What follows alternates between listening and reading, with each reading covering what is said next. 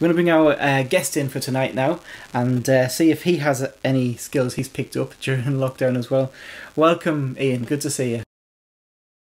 Good to be here. Oh. Sorry, I forgot to put your mic on. There you go. We're there now. Hello there. Good to be here. How are you doing? I'm all right. You? Yeah, it's good to see you. Um, we've caught up a few times during lockdown. We had a good meeting on Sunday night, didn't we? Where we uh, you've started a film club up. Yeah, yeah. Um, um, so... Yeah, I guess that's one of the, the new skills I've learned. yes, but it was nice. It was nice just speaking with people that you didn't know and you know never met before. But we've all got that connection in, with you, um, yeah. and uh, it was a good atmosphere. It was good. So how how are things going? Just tell us a little bit about where you, where you are and and what is you're doing at the moment. So I'm in Clitheroe at the moment, and I'm um, a curate at St James's Church in Clitheroe. Yeah, so I'm with the Church of England now, uh, ordained as a deacon a couple of years ago, as priest last year. So yeah, I've got another year here, and then I'll be um, looking for my first incumbency and first church to lead. Wonderful, wonderful. Now that's not where you started. You started up here in in good old Billingham, didn't you? I did. Um, yeah. This is where you grew up, isn't it? Yeah, absolutely. So yeah, that's where I was born um, and stayed there till I was nineteen, I think. Yeah, so did that. Um, yeah, miss it a lot. Loved it. And um, we met, of course, when you were living in Billingham because you were part of New Life Church um, when I started first coming, in fact, actually, you kind of took me under your wing a little bit and looked after me when I was new. I tried my best. I can't have been. Can't have been easy. I don't know. It was one of the things that I don't know. I just tried to make people feel welcome in my loudmouth northern way. um, do you want to just tell us, um, you know, how how you first got involved in New Life? Because you, you weren't, you didn't come from a Christian family, did you? No. Um, so I think because I was in the area and I used to just hang around and stuff, um, I was aware of New Life. I think I popped in a couple of times when I was like quite young in primary school or something, and on a Sunday morning, I remember they had them orange chairs with the holes in, um, and it, just remember thinking because I didn't have any experience of church and thought it was just all a bit strange to me. And then when I was um, when I was in second year of Lowgrange Juniors, a boy came to the to our school who came moved from down south near London, um, called Mark, and he used to go to the church, but he spoke with a funny accent. And I remember in in assembly once he got up and talked about the different books of the Bible and listed them all in order. so I kind of got to know him, and he used to invite me to church a lot, but I never really never really went along. And I think when I was about 14, I used to play a lot of football, and I was playing football on. Actually, it might have been the it was Bede College then their field, and I walked over and just between Lowgrange juniors and the infants, as it was then, there was a group of people playing football there, and they just weren't really very good. So I just stood watching for a bit, and this Mark said, "Do you want to come and play?" And I said, "Yeah, yeah." And there's loads of girls watching. I remember that, so that was what piqued my interest. I think that these girls were watching. So and then after we'd finished playing football, he said, "Do you want to come over to the church to, for the youth club to play table tennis and different things?" And I said, "Are the girls going to go?" And he said, "Yeah." And I said, "Yeah, yeah, I'll, I'll come see what it's like." And I went along, and I think um, enjoyed the table tennis and everything and went into the main hall. And yeah, Steve talked about Jesus, and it was the first time I'd heard any message about Jesus outside of school assemblies or songs from the Common Praise book. Uh, I'd heard anything like it, and I kept going back each week, mainly for the girls, but there was something in the the rest of it that um, that yeah that spoke to me on some level. And when when for you, so you're coming along, and and you know I, that's one of the things that originally hooked me in was the friendships, people, and it's it's easy to start coming along for that. You hear a bit of the message, but when when did it really hit home for you? When did you really find yourself in that position where you're like, actually, you know, I've got to do something about this? I think that first night when I heard Steve speak, it was like it was like something I'd never heard before. It was it was like, you mean it's relevant to me now? It's not just a song that we sing in school, and it was about this. And it started then, and I met God in the what if. Really, what if it is true? Mm. What if He did die for me? what if he does love me more than anything else? What if I am created for a purpose, on purpose? And and that was when it started. Um, it didn't. I didn't respond then, but I remember those questions coming up then at what was it, 14 years old, um, and then they just wouldn't leave me. And I think I did, and I got more involved in church. Started coming on Sundays, and you know, got to to build really good relationships. But part of me, I think, people were always interested and told me they were praying for me and wanted me to become a Christian. And I think I liked that attention hmm. to a degree. And I thought, as soon as I say I'm a Christian, that will stop. So I think I believed in my heart, but I never confessed with my mouth. So I just carried on for a bit. I loved where I was, but I think over the course of maybe the first year that I was going, that I really was asking those big questions and searching, and really, without ever saying it, I really felt that it was true. That's that's good, and uh, so it was. It was sort of this sense of you, you knew it was true. It started with what if, and but then became something you knew was true. Um, yeah. Now, as you developed and, and began your walk with that, um, your life became very much committed to living this out in every. You know, you you you went down to um, where was the first place you went? Was it Lichfield? Yeah, it was. Yeah. Um, and you, you really jumped in with two feet and committed yourself to, to serving God full time. Um, what what did it take for you to make that, that step into doing that?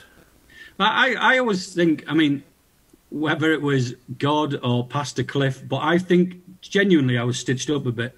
Do you know what I mean? So we went as a church retreat or week away to to Elm House to Redmire, and we were there, and um, there was a, the guy Richard, I think it was from Spennymoor, was speaking, and he said, "I want all the young people to come out the front, and I want to pray for them." So I was like, "Well, I'm not going to sit here on my own." So I went out the front and he put his hand on my head. Can't remember anything he said. Can't remember anything response. And then I went and sat back down. Didn't say I'd do anything. And then on the evening, the meeting, Pastor Cliff got up and I was chatting away to Corny or something. And Pastor Cliff got up and said, "Oh, I just want to tell everybody um, some great news that Ian Sarginson gave his life to Jesus this morning." I was like, "Did I?" I had no idea. Everyone's clapping, crying, hugging me, um, you know, pr- shouting praise the Lord. So I thought, well, I can't, I can't back out now. So I went outside and said, look, God, if this is what you want for my life, then, then I'll give you everything. But please don't let my friends at school find out. So that was my first prayer. But yeah, I committed right there and then and said, right, if this is what you want, then then that's it. So then from there, I was all in really. There's um there's there's, there's some um in who may be watching now um who are children of people who come to the church and and maybe find themselves in that similar position where they're like, you know, I, I, I know there's something, but this idea of committing, this idea of stepping out, this idea of people in school finding out that uh, that I follow Jesus, that I go to church, I, I don't know how to deal with that. What would you say to encourage them? I would say that you, you need to almost get the preconceived ideas out of your head about what a Christian is, because ultimately I thought, oh, my friends are going to um, laugh at me, they're going to make fun of me, they're going to because I. But they they would have only done that if I had conformed to the stereotypes they had. So I wanted to challenge those stereotypes. I wanted to be a Christian but still be me. So I tried to do that. I tried to make sure that you know, I mean, I was authentic within that. So I would just say, don't worry about that. And when it came to it, and I told my friends, it wasn't some like, guess what, guys? I became a Christian yesterday. I'm washed in the blood. It was more like it came up in everyday conversation, and they just didn't care. Do you know? Mm. They weren't bothered. They thought it was great, and they said, "Yeah, we knew you went to church," and it was just a, such a non-event um, that it didn't happen. Now I know that some people did get made fun of and stuff. But I think you've just got to be true to yourself. It's much bigger than what anyone can say to you. Yeah, yeah, that's true. So you were expecting this barrage of um, what's the word of, of um, persecution, yeah. and actually what you got was uh, maybe a bit of disinterest and maybe some questions. Yeah, it was a shrug of the shoulders, and then they would ask me things because it just came up like they were saying, "What did you do at the weekend?" And I was like, oh, "I played football Saturday, went to church Sunday, and then, you know, had a dinner or something." And it was just that, and then they were like, "Oh, you went to church? Yeah, yeah." So then, why did you go to church? And then we'd just get in a conversation. It wasn't like I wanted to gather them round and you know tell them a story about what a parable or something. It was just it just came up in everyday conversation. Hmm. And um, then you moved. You, so you moved away from from Billingham. You went to Lichfield. Then you went to Southport. Yeah. And you were there for a good few years. Um, and b- something big and uh, well, really significant happened to you in Southport. What was that? Oh, there's a few things. Do you think it depends what you're talking about? I have I have Kate? one in mind. You're talking about Kate. I am, yeah. right, okay, yes, I met who is now my wife. Um, so I met Kate there. Yeah, so that was. I mean, I had loads of great times in Southport, but if it was only for that, then it was a total blessing. Yeah. Now you so you you you were saved in a Pentecostal church. Um, Yeah. You went to Lichfield Pentecostal Church. Yeah. You went to Southport Pentecostal Church. You are now in the Church of England as a, a, a what is priest the right word?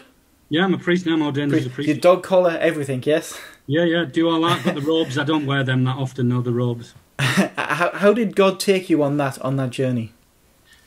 So we were leaving Southport. We uh, we left Southport because Kate got a job in Cumbria. So I had to find something locally. And I'd, uh, I'd my last few years at Southport, I'd been working as a full time schools worker, and it was um, I was employed by a group of churches, and my line manager um, was the Church of England vicar.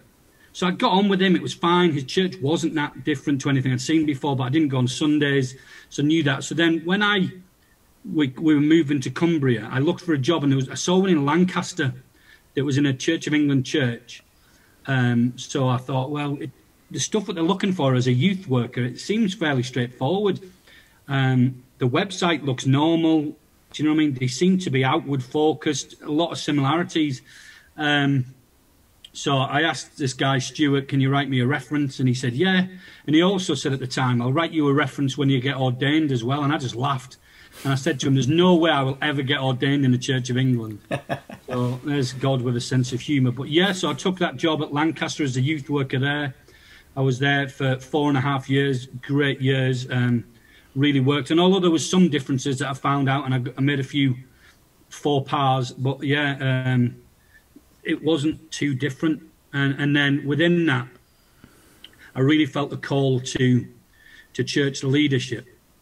And then I was kind of stuck because do I go back to change denomination again? Do I go back to um, a Pentecostal church or an Elim church or something and start again? And as you know, you've got to serve in the church and there'll be a, a process to go through. And people in the Church of England at St Thomas's in Lancaster kept saying, "Oh, you should get ordained in the Church of England. We need more priests like you," which I took as a compliment. um, and I spoke to Kate about it, and I wanted to plant a church, and um, but she rightly and wisely said, "But you can't just do it on your own. You need some kind of covering. I don't want you really going off as a renegade. You need some accountability." So I said, "All right." I said, "This is what we'll do." I said, I will pursue this door in the Church of England because I'm fully convinced that I'm not what they're looking for. I'm not what a Church of England vicar looks like, talks like, acts like. So as soon as they close the door on that, am I okay to do what I want? And Kate said yes. And they never did. they never, nobody stopped me, and here we are in some kind of. So I, I just let, I, I trusted God in that process, not not for one second thinking that I would get further than that. So, and yeah, and it carried on. And the more I went through that process, the more I realised that I could serve within that. Um, there was a lot that I loved about the way the Church of England works, um, and and some obviously some things that were still alien to me. But because it's quite a broad church, I found that I could be myself within it. Yeah. So I found a comfortable fit now. Yeah, that's good. And I guess when you said you you know you don't talk like, look like, you know, act like someone who's a Church of England uh, vicar, I guess that turns out that's a good thing. I mean, they do yeah, I mean that was just my prejudices. It Yeah. was just what I, again, preconceived. So there's all kinds of Church of England vicars, but what I had in my head was based on the narrow view I had and the media and all of these things. Um, so I was worried. It's a bit of an imposter syndrome going on. So I was worried, you know, I didn't talk properly. I wasn't middle class enough. I didn't do. But yeah, as soon as there was support for that from people high up in the Church of England who were opposite to me in a lot of ways, that they supported me and supported me in that role. Hmm. I just felt, yeah, I can, I can do this. I can be me within this. Um, can I ask? It's kind of an awkward question. You don't have to answer this if you don't want to. I realise you're working within the Church of England now, and I don't want you to be critical of it. No, okay. um, but have you found this has presented you with opportunity um, in some of the churches you've been involved with to actually share the gospel with people who have been attenders but have never really opened up to the you know to to really following Jesus? Does, it give you opportunity to do that? Yeah, I think so, and I think it, it's not exclusive to Church of England, but I think a lot of people have inherited Church of England attendance than maybe my experience in Pentecostal churches that Hmm. They belong to a parish and their parents have always gone and they went to Sunday school, so they've gone. They sang in the choir, they've sat in the pews for years.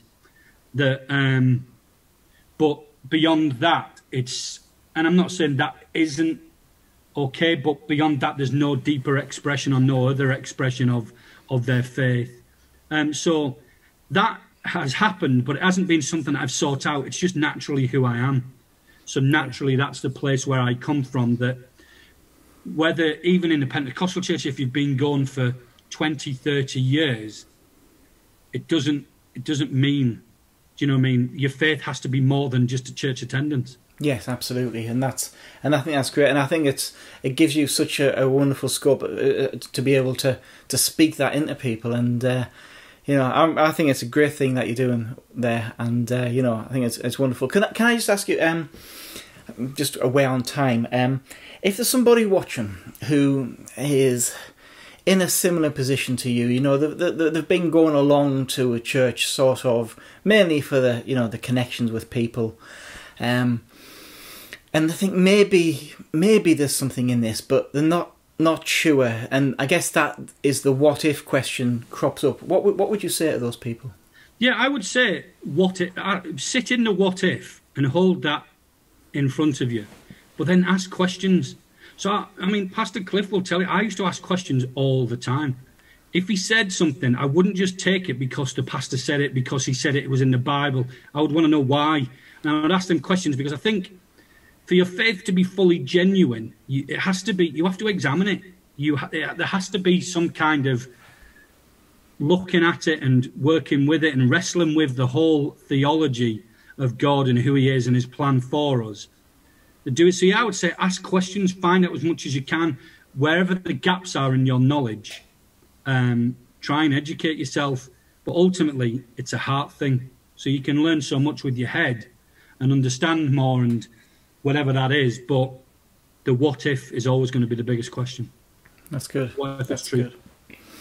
Um, and then to another set of people um, who have been in a similar position to you as well, if they find themselves on that cusp of they feel actually they're being called not just to step out into a ministry, but into something that's taken them away from even where they, they live, the place they've grown up, the place they've known, and they feel this hesitancy to do it.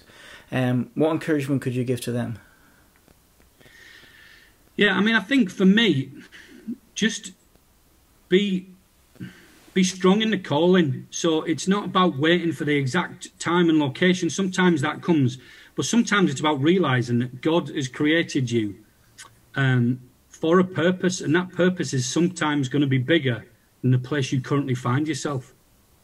So it didn't matter where I went. So it wasn't always like I heard a booming voice from God saying, I want you to go to Southport. I mean, I'm glad that that did happen. But I just thought, this will be a good idea. I hope I can serve there. I hope I can have an influence. I hope I can be a good impact, not just in the church, but in the community and, and everywhere, and have a great time. So, yeah, I would just say, um, just don't limit yourself and don't limit God. That's good. That's good. Thank you so much, and thank you for joining us tonight. I've really, no I loved having you with us and, and just chatting with you. It's been it feels like it's been a while, doesn't it? since yeah, it's been a while. Yeah, since you've been up I'm in sure the area. There's loads well. of people in New Life who don't even know who I am.